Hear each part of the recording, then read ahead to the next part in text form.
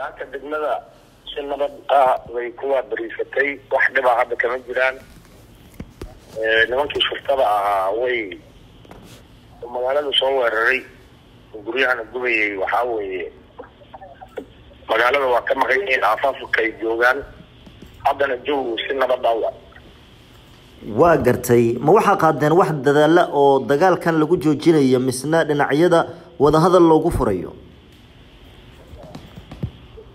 dagaal walaalow odayaashii dhaqanka oo loo diray ayagaa ku gacan sayray xiriiro waa jiraan hadda dadka madaxda aha oo jubbaland ay samaynayaan oo ayaga la samaynayaan. Dadkan kale oo magaalada hadda joogo wax dhib ah iyo wax dembi ah midna hadduu ilaahay kuusama ogol yahay ma ay samaynayaan waa dad wax walbaba ogol. Ayaga marka duurka ku jiro madaxa madaxweyne ku-xigeenka jubbaland inuu taleefano ka raadinayay oo xiriir in lala sameeyo iyo maamulka gobolka intaba yaan maxayda xog ka marka insha allahu wixii dhiba allaha joojiyo waa ayagu naftirkooda cadow ma aha waa dadkii magaalada ka dhashay. Marka haddee waxaan ka sugaynaa nabad iyo in xasillooni ilaahay ku soo celiyo ilaahay baa keeni karo haddasa magaalada aafeeday ku jiraan. Waa gartay dhinacyada dagaalamay maxay kula muuqdaan? Ma kuwo ogolba in la heshiisiiyo ama weli dagaal bay carcar u sii yihiin? Wallaahi nin hadda banaanka u baxay oo maxay ahayday xabad dhinta xaafadihiis iyo dadkiisi barakacay oo duurka ku maqan yahay oo dad ka dhintay oo dad ka dhaawacmay waxa weye wadahadal iyo isaan hadduusan ku soo laabanin.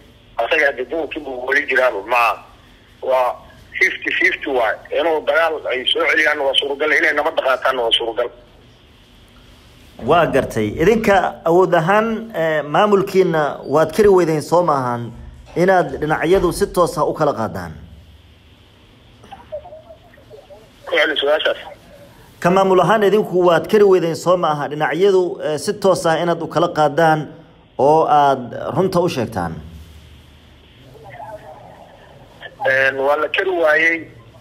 Waxa weeye muddo badan baa maxay ahayd dagaalkan hal nin oo xabad lagu dhiftay oo dhinto fiisa gashay buu ka bilowday. Dadkii in ay ninkaas dadkii dilay soo qabtaan la rabay baa soo qaban waayey in marka dadka ayaga aan la soo qabanin baa haddana ficilkan iyo maxayliga looga jawaabay guriga gub iyo dhibaato kalaa ka sii dambeysay. Oo meel meel la isku haystay oo qolo gaara dhistay baa jirtay. Qoladaas laga raro iyo maamulka degmada ku jiro iyo maamulka reer gobol ayadoon marka weli go'aan laga gaarin buu ninkaana dhintay. Meesha ayadeeda la isku haysta guryihii laga dhisayna babbaa la qabadsiiyey oo waa la gubay. Saasay gacanta oga baxday marka laba qabiilo oo muddo isku taamaysay oo intaas aan ku dhex jirna ahayd marka labada reer ee dagaalamay maadaama ay dhinacyo kale ka soo kala jeedaan oo horey ugu dagaalamay dhanka gobollada dhexe ma noocaasi oo kale ayuu dagaalka xiriila lahaan karaa? Wallaahi marka hore saasuu ka bilowday isku haysigaas dhulka yaa maxay ahayd ninkaas dhintay? Muramo ka jiray buu ninkaas ku dhintay? Kadib saf iyo saf la noqday. Muddo badan baana maxayda lagu soo jiray arrinta ayada aha iyo in la kala joojiyo ummadaas uusan dagaal qarxin maamulka gobolka iyo kan degmada iyo laamaha amnigaba ku dadaalayeen wax marka intaas lagu soo dhex jiray bay ahayd oo daahay. Intaasna ilaahay amarkii baa lagu kala joogay oo lagu guuleysanayay haddana dee wax uu qadaran waayo sabab buu gacanta ooga baxa dagaalka isaga ahaa ciidamada ammaanka oo ku dhex jiri lahaa iyo hadduu ilahay kuusha mogol yahay dadkaas dad shacbu markii hore ahaa. Waa haddana ciidamada ammaanka loogu talagalay inay dadka dhexdhexaadiyaanna waa ku kala biireen. Qolo walbaba waxay ku biirtaa. Qabiilaadkay ka soo jeedeen sidaasaa jirta dhinaca dowladda federaalka iyo jubbaland wax gacan miyaa ka hesheen oo nabadeynta dagaalkan ku aadan dhinacyada dagaalamay.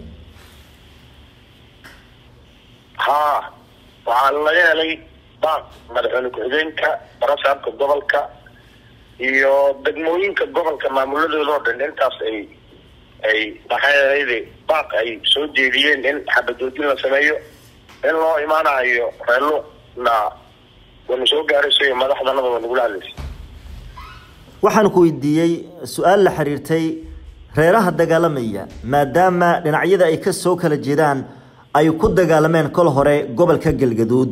Ma noocaasi oo kale ayuu dagaalka sal amaraad la leeyahay baan ku yidhi